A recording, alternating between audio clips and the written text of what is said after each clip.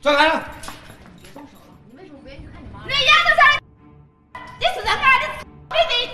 五十二岁极品巨婴，一辈子从不工作，肯跑三任丈夫。让九十四岁老母亲给她洗衣做饭，梦想嫁给大老板。邻居看不下去，劝她出去工作。女人却摆摆手，说自己有钱，转头取出母亲的退休金，挥霍一空。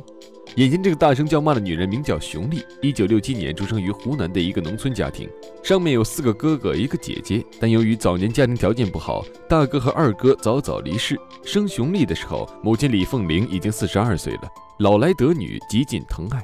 全家省吃俭用，有什么好东西都会让着他，想要什么就买什么，吃穿用度都是城里最时髦的，从来没有穿过哥哥姐姐一件旧衣服，从来不做家务，连最简单的洗衣拖地都不做。一九八零年，熊丽十三岁，父亲意外去世，其他子女都已成年，有的结婚成家，有的外出打工。母亲担心女儿受欺负，便把所有的爱都倾注到熊丽身上，任何家务活都不让她干，活得就像个公主。从小被宠溺惯了的熊丽，娇气任性、懒散不上进，成绩一塌糊涂。因吃不了学习的苦，初中没读完就辍学在家，无所事事。母亲十分心疼，担心她出去打工受苦受累，便一直养在家里。对于儿媳孙子，从不过问。转眼，熊丽到了十九岁，因长得漂亮，村里不少人上门提亲，但通通都被拒绝了。我不嫁给村里人，一辈子在农村吃苦受穷，得嫁给城里有钱人、大老板，做个享福的阔太太，那才是真本事。说干就干，不久，他还真认识了一个浙江富商，相识两个月，一拍即合，迅速闪婚。熊丽摇身一变成了富太太，八十年代就住上了豪华别墅，坐上了桑塔纳，出门有司机接送，回家有保姆照料，日子好不快活。然而，这样的生活仅仅维持了几年，便土崩瓦解。熊丽贪图享乐，花钱如流水，夫妻俩整天吵架。不久，男人投资失败，两人离婚。熊丽分到了十四万。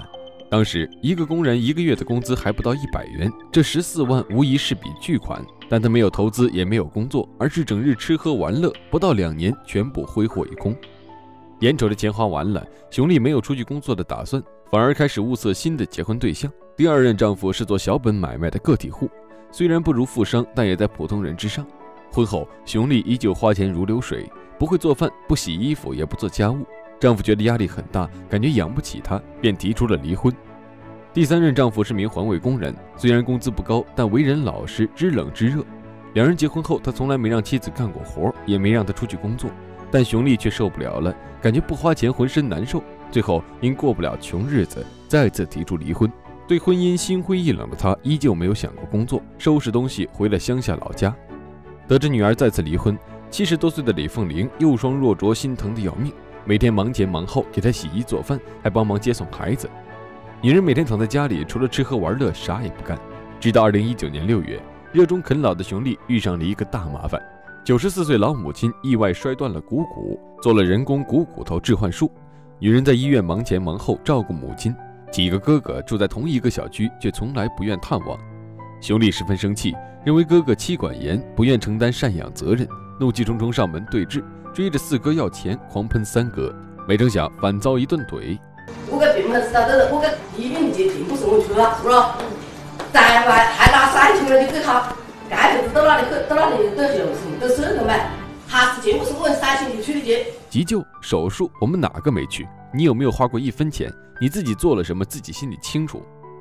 原来，二零零八年老家拆迁，母亲李凤玲获得了一套拆迁房和二十万的补偿款。虽然小女儿户口早已迁了出去，但考虑到她无依无靠，就想将所有都给熊丽。母亲光明正大偏心，兄弟姐妹闹得不可开交。最后在村里的协调下，勉强达成一致，房子归熊丽，以后负责照顾母亲日常起居，两个儿子平分补偿款，负责生老病死，一家人勉强维持和睦。两个儿子时不时还会给母亲一些零花钱。在老人摔断股骨后，他们立即送医、掏钱看病。就在三嫂回家给母亲收拾东西时，意外发现了李凤玲的退休金存折。打开一看，傻了眼，上面全是零鸭蛋。每个月发放退休金的第二天，钱就被立即取了出来。四十多年，每月一千三，一分不剩。九十四岁的老母亲之所以摔倒，是因为她要给熊丽买菜做饭，而熊丽所谓的照顾，实则就是榨干最后一滴血。两个哥哥气不打一处来，在母亲手术后便拒绝给拆线费用，熊丽一分都不愿拿，上门讨要，破口大骂，结果存折还被拿走了。回到家，他对着母亲疯狂告状，说要拿钱的是他们，现在却反悔了，还把存折拿走了。一听儿子没给自己交医药费，老人红了眼，觉得他们不孝顺。你们就是惦记我的房子，想等我死了把我的小女儿也轰出去。兄弟俩一听，立即起身走人，避而远之，再也没来。眼瞅着拿不到钱，再也不能挥霍，兄弟急眼了，将两个哥哥告到了居委会，拿出之前签的合同为自己讨公道。我没日没夜照顾老人，你们却逃避医药费，真是没天理！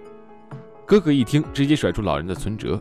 你要拿回存折，以后老人的三病两痛就全部由你一人负责；要么你搬出母亲的房子，以后养老问题都归兄弟们负责。对于这两个选择，熊丽都不愿接受，不停狡辩反驳。我没有啃老，我花母亲的退休金完全是希望她生活的好一点。呀，啃老啃出了新高度，真是啃老界的天花板，巨婴界的 Number One。经过多次协调，几人最终达成一致，赡养问题依旧按照之前的合约处理，退休金由熊力保管。四百给老人看病，五百用于日常开销，剩下的五百存进银行，以备不时之需，不能私自挪用。老母亲百年后有剩余存款，则由熊力继承。